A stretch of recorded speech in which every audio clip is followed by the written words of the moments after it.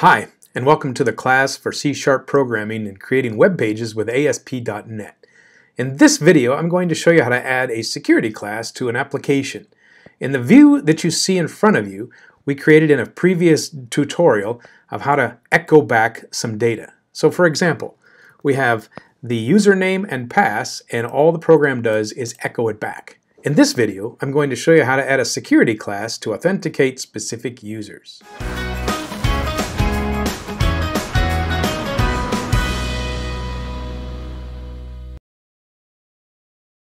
Okay, so for the goal of this video, we're going to not just take any user, but we're going to have a specific user and authenticate them using a special class.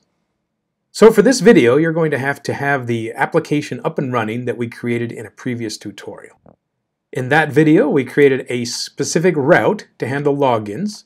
We have a user model, and then we also have a item called the uh, login view. And so those are all of the things that we created in the previous tutorials. So for this part of the application, I'd like to make a new folder and call it Services.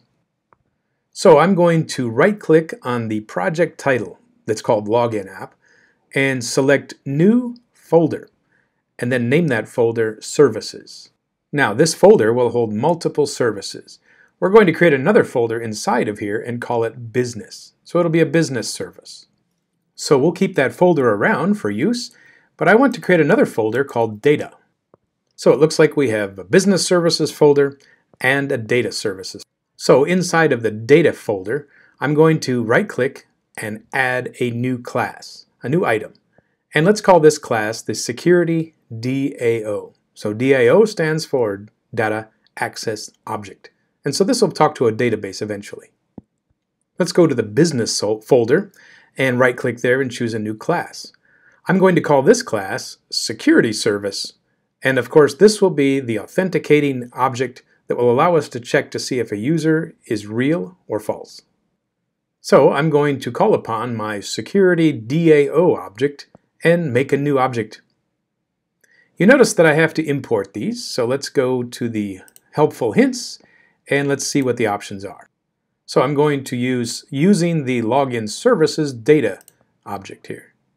And so the new include shows up on line 1. So the goal of this service is to provide a way to authenticate. So we're going to have a function or method called authenticate, and it will return a Boolean value. So that's true or false. The parameter that it's going to accept is a user object. So user model is the data type for our user object. Now, for this one piece of example, I'm just going to return true. So we haven't actually authenticated anybody because if we return true every time, it's always authenticated. So what I plan to do then in the DAO service is to have a method called find by user. And so that will go to the database, look up a user, and if it finds it, it will return a true value. And so the, the security service is going to rely on the DAO service to be able to do its work for it. So obviously this method doesn't exist yet. There's nothing in the class that I created called DAO service. So let's go see if there's a suggestion that will automatically help us write some code. And sure enough, it says you can generate a method. Let's go ahead and choose that. The error message went away, but where did the code go? Well, let's go look at the security DAO and find out what's in there. So the new code was added here on lines 11, 12, 13, 14. So it automatically created the method. So we're going to put some database work in here, but not just yet. For right now, I'm going to put in some hard-coded values. So the if statement that I'm looking for is to say if the username equals admin and the password equals secret, then we'll consider that a successful login. So we'll only have one valid user in our system until we add the database.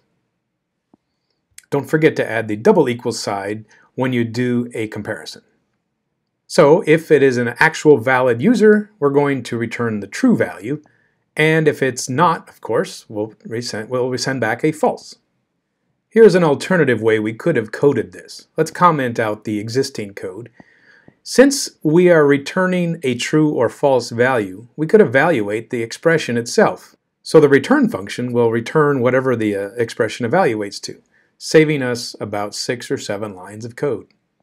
Let's go to the login controller page, and instead of simply returning the results here, we're going to modify the code.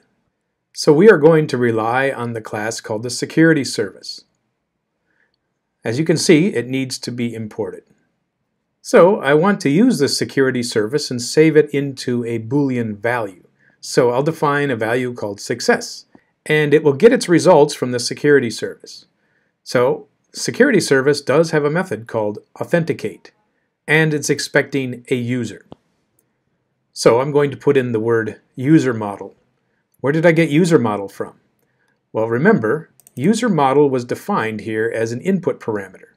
And so whatever comes to this service, we're going to send on to the security service. So after I get the success variable, let's check to see what its value is. And then I will return a string, either successful login or failure not logged in. Now recall that the security DAO is only set up to work with the admin and secret password, both of them capitalized. Let's test this out. So I launch the application and immediately goes to the path called login slash login. Let's take out one of those logins and let's try again.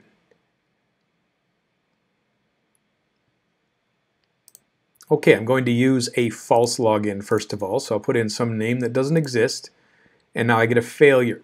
Okay, so it didn't work. Now let's put in the admin as the username, and the password I put was secret, capital secret. And this time I get login success. So we've got ourselves one step further. So let's review here. In the controller, I created a reference to the security service. The security service will return a value called authenticate. It's a boolean. And so if we get a success, I'll return a good message, and if it's a failure, I will turn a failure message. So we have a security DAO, which will eventually work with the database, and the security service, which depends on that security DAO. Very shortly, we're going to add a database so that way we can have multiple users that can log in and we can check for their passwords. So if you're not on the playlist, go check out the links here and see what the other previous videos are and the ones that are coming.